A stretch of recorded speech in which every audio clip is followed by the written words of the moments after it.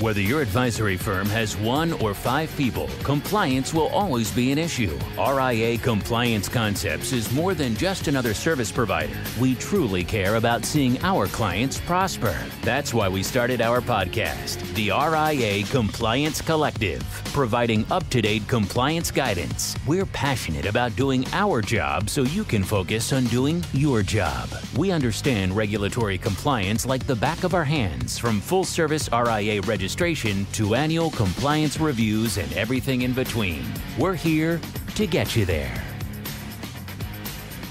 Hey everyone, welcome back. I'm Megan Campbell, and joining me today is both Ivan Barretto and Collin O'Bryant. It's been a while, but we have the whole team on today's episode. How are you guys? I'm good, thanks. I'm doing great on my end. I know last season everyone seemed to enjoy our Clearing the Air episode where we tackled some frequently asked questions pertaining to the RA compliance world. So we thought we'd tackle a few more topics for you guys and clear the air a little bit more. To start off, let's talk about solicitors. Ivan, what are some of the things that RIAs should know before they pay anyone for referrals? I know I always get questions from, you know, new RAs and then established RAs where they might have you know, they might have a friend that's a CPA or they might know someone that's selling insurance that will send them over clients and they they want to, you know, you know, compensate these people for the, sending them for referrals, but what should they know before they think about entering in that relationship? Well, I mean, let's first clear the air as far as some of the people listening to us might not be aware. They may have that negative connotation of a solicitor that knocks on your door trying to sell door to door salesman. That's not the case for RIAs. Typically, like you mentioned earlier, most solicitors are types of relationships are CPA firm that comes across clients that always ask them to manage their assets or provide some kind of financial planning service. They don't have obviously accountants, you know, very limited in time and scope of time and service offerings typically don't like to take on that business.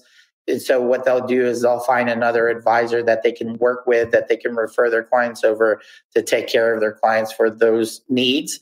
And it varies from depending on the type of RIA you are and the state jurisdiction there you're, you're in, it depends on that jurisdiction on whether you have to be registered as an RIA solicitor only, or if you can qualify for the SEC's exemption and not be registered, but you have to follow the SEC's guidelines on what needs to be documented when you're soliciting a client for another RIA firm.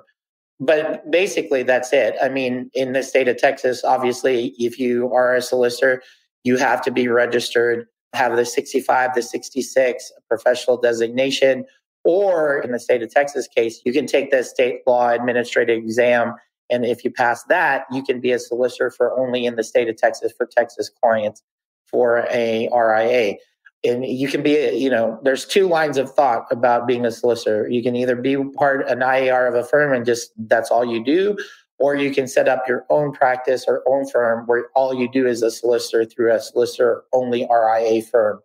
Now the pros and cons of that are obviously if you take on someone as an investment advisor rep to be a solicitor for the firm you have to supervise their activity versus if they are a solicitor and they have their own firm you're not responsible for supervising their activity. You're you are responsible for due diligence on that solicitor on an annual basis and documenting that and making sure that they're providing what they're needing to provide to the prospective clients and so forth. But with that being said, those are the two ways to do it.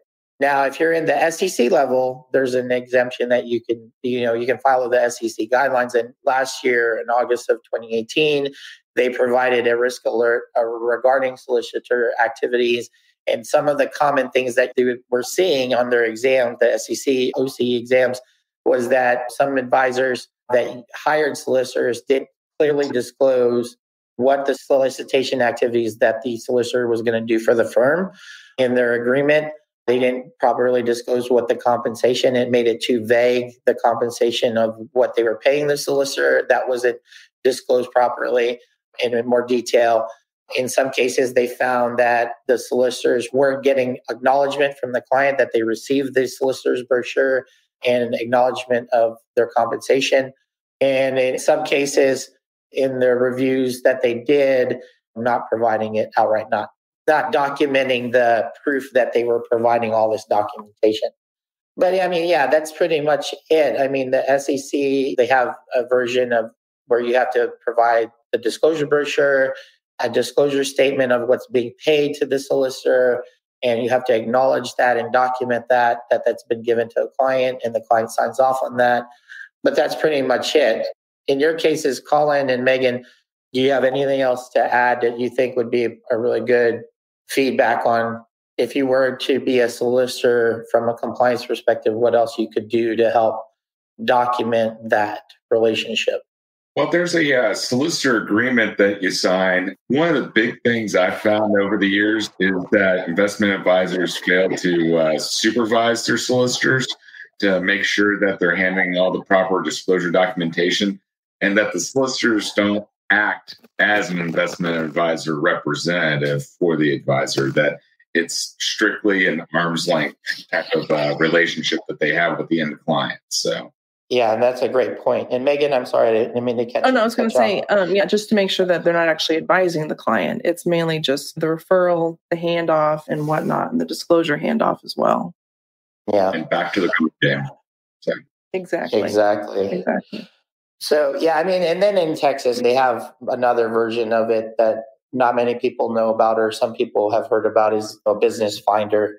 That's another type of solicitor's engagement, but that's typically for where you're introducing selling agent of a business to another buyer and you're a finder and you introduce that. That's another type of solicitation arrangement, but it's not necessarily in the RIA level. It's more of a broker dealer level here. But that's a funny kind of thing because some states don't even have it where it's regulated, and then some states that do. So there's other ways to do that as well. And there's some exemptions at the SEC level for that type of activity to let IAs not have to register as a BD. So, yeah. Mm-hmm.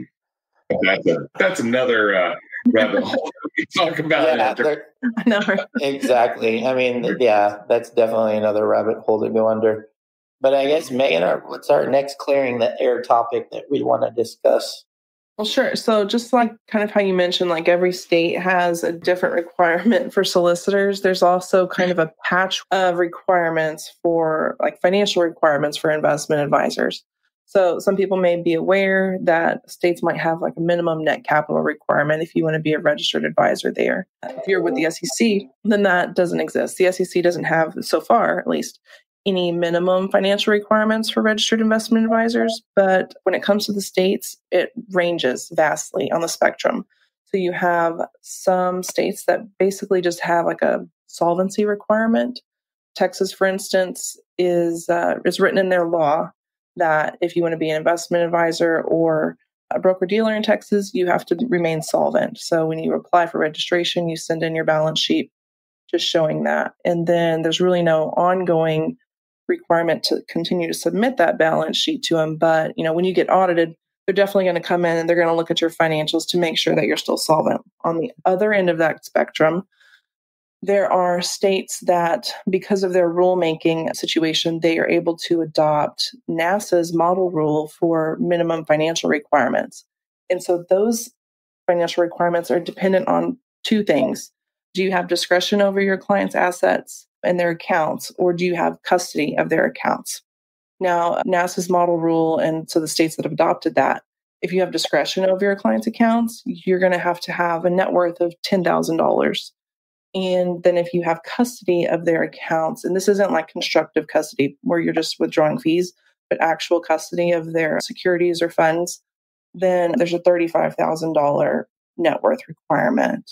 And then on top of that, on the other end of the spectrum, there's even some states um, like Alabama where it doesn't matter what line of business or what your business model is. If you're an investment advisor there, you have to have a minimum net worth of $10,000. And with these minimums, keep in mind it's not that you just have it when you get registered, you have to maintain it throughout your registration. And then in Alabama, if you can't meet that 10,000 requirement, because I mean, let's think about this. If you are a brand new business, you're just starting out, you're trying to be very lean startup, and maybe you're just doing financial planning, you're probably not going to have $10,000 just sitting in the bank. So in that case, Alabama requires you to get a surety bond for $50,000. Most states, if they do have a net cap requirement and you can't meet it, you can just get a surety bond for that exact amount. In this instance, like in Alabama, they actually require you to go above and beyond. And as far as like surety bonds go, it is what you think it is. If you can't meet that requirement, it's, they're pretty, I don't want to say they're easy to get, but they're very accessible. And there's websites you can go to for these service providers. They look at your credit history and whatnot and what your bonding requirement is. Is it that 10,000 or 50,000? And then you basically pay, you know, monthly premium and they guarantee that dollar amount to the state. That's pretty much it. So it's one of those things, it's that same old compliance answer that we have to give. It just depends. You know, it depends on which state you're doing, what type of business you're doing.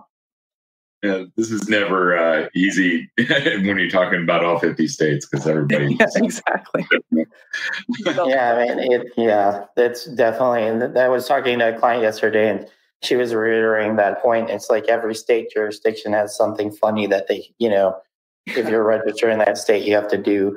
And it's just amazing how she's like, how do we try to keep track of all of this? You know what I mean? So, all right. Well, I mean, thanks, Megan. That was that was a good feedback. Collin, as far as custody goes, I know we talked about this in a previous dedicated a full podcast to it, but there's some questions I've been getting lately about more custody questions that we're getting from our clients. So um, yeah, uh, I thought we would just do a kind of a brief overview on what are some of those questions that you're getting and I'm getting or that we're getting regarding custody. Yeah. Seems like on an accelerated pace too with the custody thing. Basically, custody, if you've been in this business for a while, everybody kind of understands it, but not really. The uh, custody, the classic term is, you know, having possession of client funds on the ADV, there's an exemption that you don't have to report it if you're pulling out funds for strictly for fees. But that's still called what Megan was referring to earlier constructive custody. When you have custody, it's generally as set up like a as a hedge fund, or if you're doing bill paying for a client, or if you have a signed letter of authority. Well, I'll jump into the sign letter authority here in just a minute. But when you have custody, it does require you to do some steps. You need to provide statements. You'll might need, if you're a general partner, you might need to do an annual audit over your private fund. If you're acting as a qualified custodian, say if you're into private purchases like land or what have you, a lot of those investment advisors are acting as a qualified custodian. And then you'll need to do an internal controls report for that. And that's under guidance of the SOX 404. If you have, if you're conducting a custody over your client funds acting as a trustee or something to that effect, you're going to have to have a, a surprise examination. Most states, it's just by an accountant but at the SEC level, that accountant needs to also be registered and regularly examined by the Public Company Accountancy Oversight Board, which those guys are fairly pricey. You're looking at a cost anywhere from 10,000 to over 100,000 depending on how big your firm is and how complicated your schedule is. But those are some of the steps that you have to place and honestly if an advisor can avoid custody, I recommend they avoid custody because it's not a cheap or uh, easy way out to, to have custody over your client's accounts. But one of the things that we're seeing a lot of, and honestly, it's kind of gone on for years, is that we have these a lot of accounts of uh, signed letters of authorization that clients have because they want their advisor basically to be able to transfer money out of their account through you know, required minimum distributions, or if they want to give annually to a uh, charity or their church or what have you, they just don't want to mess with it. So they have a uh, signed letter of authority. Now, the problem with that is that a lot of the custodians like Schwab and TD Ameritrade have lots of controls in place to make sure that they cover this. But that being said, the advisors need to reinstate their control measures through their compliance manual to make sure that, you know, that the instructions are to the qualified custodian in writing, that the client authorizes in writing to the advisor that none of the funds are going to any uh, locations that the advisor also owns. So there's several different controls that need to be in place that are outlined by the SEC. So that seems to be the biggest hiccup for there. And also to make sure that you don't inadvertently have custody. If you receive a check from a client, that you either return that check to the client or if you get instructions from the client that you forward it on within three business days to the uh, custodian and make sure that you log that check in. I've seen over the years several violations of that. There's also that you get the occasional elderly client that has a stock certificate that they've held on forever and then they want to give it to their advisor for them to take hold of and keep for them for safekeeping you know that is another technically that's a custody issue because it's an original stock certificate you know what i mean? I've walked into offices i was in an office up there in uh, portland about two years ago and the guy pulled out a whole bunch of stock certificates from all these old companies and everything. And I almost freaked out. I was like, what are you doing holding that? you know, and that's the scary part. Like that's the scary part is that you don't know if it's documented, right? Mm-hmm. You don't know if it's been reported. So you could be holding on to a stock certificate that's not on the books. And if that gets lost in a fire, holy smokes. Yeah, that's crazy. Yes. Stuff. Yes. It was in a file cabinet and the guy was completely clueless on what to do with it. And I was like, forward it on to their custodian. or better yet, drive to their house, hand it back to them, and have them put in writing that I gave you everything that you gave me. yeah, exactly. Well, I mean, the other thing that we're getting a lot of too is these the, the, retainer models that they're popping up left and right, where you know advisors are using a retainer model for their services, yeah. but they're not. You know, the traditional way of getting the money or billing the client was, you know, you just send them an invoice, they pay it. But now this is a monthly thing or a quarterly thing that has to be captured. And a lot of advisors aren't aware of that certain state jurisdictions that if you have someone's credit card or bank account information that you're yeah. using for billing purposes, that's custody right there. I mean, there's ways around it. There's services out there that you can mask that information and set it up that way where you still do an automatic billing function, but you are able to not have direct access to that information that helps you stay away from being having custody or whatever. But yeah, that's and another thing that you come across the uh, investment advisors having the personal logins for their clients. That's yeah. another issue that we've ran across too. Oh, yeah, yeah. No, definitely. That's another one that most advisors aren't aware of. I mean, we come across that sometimes where an advisor has they've been using a, a personal login or whatever of a client to just get access to their to do the trades or to you know see what's on their account to make recommendations and it's like that's just that's custody right there so yeah, I mean, yeah. and that's you know something that is definitely something that's a thing out there. But you know, just be aware of it. I mean, if it feels like it's not the something that's probably right to do, then it probably is triggering some kind of custody issue or, or whatnot. So. Yeah. Um, and I'm sure most of these things it's because you know you want to help your client and make things easier for them, but just oh, make oh, yeah. sure that you know yeah. Exactly. Just make sure that by making it easier on them, you're not making it significantly more difficult for yourself. Oh yeah, and yeah, in most cases with the clients we work with, it's just they want to act in the best interest of their client and make things easier for them. Mm-hmm. Exactly what you said. There's no malice in it at all. It's just they want to make it as easy as possible for their client. Yeah, yeah. And the clients, the investment advisors, they don't sell widgets, they sell trust.